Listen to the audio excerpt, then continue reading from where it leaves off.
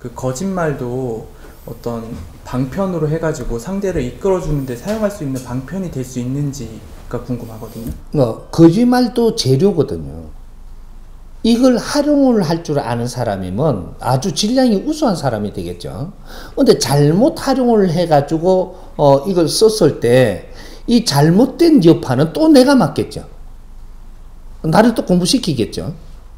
모든 것은 우리가 다 쓸 수 있지만, 이 우리가 실력이 없어 잘못 썼을 때는 그 화가 내한테 오는 것은 이걸 다시 공부시키려고 오는 거예요. 어, 이런 것이지. 니를 때리려고 오는 거는 아니란 말이야. 이게 잘못되면 이런 여파가 생기는 것들을 내한테 그 환경을 주는 거거든요. 그래서 거짓말도 잘 활용을 해가지고 이걸 세상에 저 상대한테 이름을 줄 수 있다면 이것도 재료니까 잘 쓰면 좋죠. 근데 실력 없는 사람이 있으니까 문제가 되는 거죠, 이게. 어, 어, 그런 거지. 거짓말은 나쁜 게 아니에요. 거짓말은 굉장히 좋은 거예요. 어, 좋은 건데 실력 없으니까 코너에 몰릴 수 있고 거기에서 화를 당할 수 있는 거죠. 어, 거짓말은 극히 자연스러운 거예요. 어, 그래서 내가 이야기할 때 항상 이게 뭐, 뭐 하나만 딱 이야기해 줄게 오해하기가 쉬운데 거짓말을 하면서 살아라는 거죠. 편하게. 어, 거짓말을 하면서. 어, 거짓말을 못하게 하면은 거짓말을 내가 하니까 누가 답답해요? 상대가 거짓말을 이게 했다고 아는 순간 네가 답답한 거예요. 네 안 답답하게 해줘야 되는데 그걸 답답하게 한 데서 내가 피해를 입는 거거든요. 어, 거짓말하고 잘 넘어갔으면은 그냥 아무 일 없을 거 아니에요. 어, 그러면 어떤 사고도 안 났고 내한테 썩냄도 안 내게 했고 어, 그거 뭐 잘못한 거냐. 지금 내 거짓말 안 하고 바른 말로 딱 했어. 했는데 저기 썩내. 그럼 이 사이 지금 썩내게끔 만드는 거잖아요. 어, 그러면 내가 잘한 건가?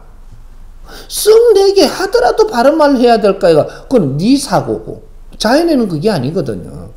저 사람이 지금 썩낼 것 같더니 지금 썩안 내게 하고 노력을 그 대신 해가지고 다음에 내가 사실 이게 거짓말이었었는데 더 좋은 환경을 만들어가 거짓말이었었는데 요때 넘어가줘서 너무 고맙다 하니까 어 이건 뭐 아끼기 시작을 한 거죠.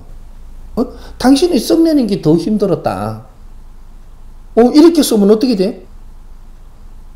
이건 지혜로운 사람이라고 하는 거예요. 그건 실력자다.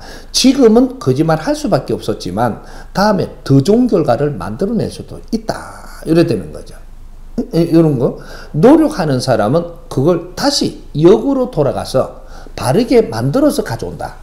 이러면 내 삶이 풍요로워지고 좋아지는 거예요. 우리 삶이 좋아지는 거라. 이해가 좀 돼?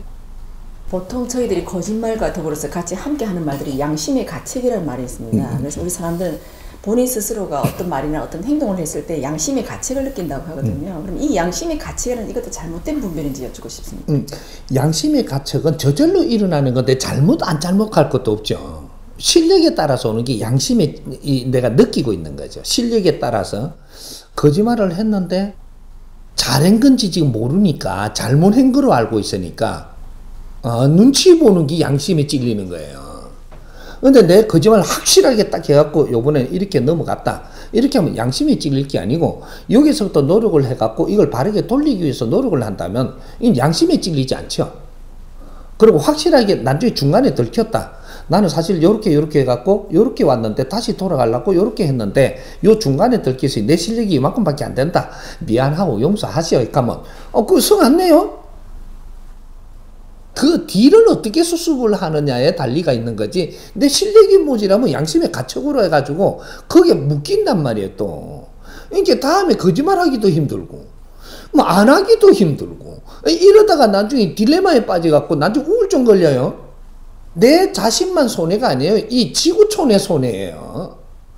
이 사회가 손해고 나라가 손해고 네가 우울증 걸리면 네 혼자 그 여파가 되는 게 아니에요. 너 하나가 바르게 운용이 돼 갖고 이 사회가 좋은 에너지가 나와야 되는데 하나가 탁해지니까 이 여파가 주위까지 온단 말이죠. 이러면 사회와 나라와 인류의 지금 네가 지금 잘못하고 있는 거거든요. 네 혼자 끝나는 일이 세상에 어디 있어? 우리는 하나인데 인류는 하나고 그죠? 우주는 하나지 둘이 아니에요. 이게 공도 사상에 들어가는 거예요. 너 하나가 어려우면 모두가 어렵다라는 거죠. 어? 이, 이게 지구 반대에서 일어나는 게 나비 현상 이야기하는 거예요. 그걸 너무 크게 하니까 우리가 우리한테 대입을 지금 안 하고 있는데 이거는 엄청난 이야기를 지금 한 거거든요. 그건 우주까지 가는 거예요. 우주는 둘이 아니거든요. 이 신들의 확장성으로 우주를 못 만지니까 지금 이렇게가 점에 우리는 너무 작 우주는 어마 그렇게 생각하는데 우리는 우주에 미치지 않은 에너지가 아니에요. 예? 그러니까 요, 요런 것들이 우리는 우주 이 대우주는 하나로 운영체를 가지고 있지 두 개가 아니거든요. 그, 그 안에 내가 있는 거예요. 어, 그러니까 내 하나가 괴롭고 힘든 것이 너 하나로 끝나지 않는 것이니라. 그래서 너를 갈고 닦고 노력을 해서 많은 자게 네 즐겁고 행복한 것이 너 하나의 즐겁고 행복한 거로 끝나는 게 아니니라. 이렇게 이야기하는 거예요. 어, 그러니까 이제 그런 것들을 어, 한쪽에서 쳐다보면 한쪽에서 자꾸 풀라고 드는데 크게 풀어서 한쪽으로 가져가라.